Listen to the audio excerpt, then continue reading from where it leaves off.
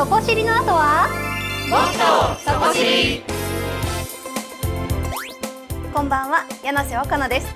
今回は富士の国子ども芸術大学の参加者募集のお知らせです。富士の国子ども芸術大学はさまざまな分野の第一線で活躍されている方々を講師に迎え小中学生を対象に文化芸術の楽しさを伝える体験型講座7月から12月までの間県内各地で24の講座が開かれます。音楽演劇絵画などいろいろあって楽しそうですね。特にこちらの特別講座は必見です。特別講座は県内3カ所ご覧の日程で開催。作曲家で学長の三枝茂明さんの講演を聞いた後それぞれ希望した講座へ。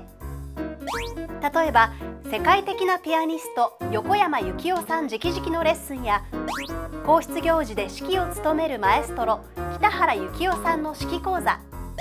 日本が生んだ世界最高峰のバレリーナ吉田都さんのとっておきのお話など普段では体験できない講座ばかりです。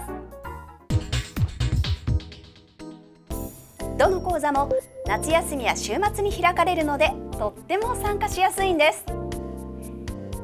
またもうすぐ締め切りの講座もあるのでホームページで早めにチェック申し込みをしてくださいね。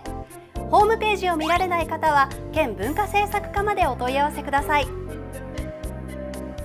子どもたちが本物の文化芸術に触れられるチャンスです。ぜひ体験させてあげてくださいね。次回はものづくりフェスタ2014をご紹介。静岡県広報課がお送りしました。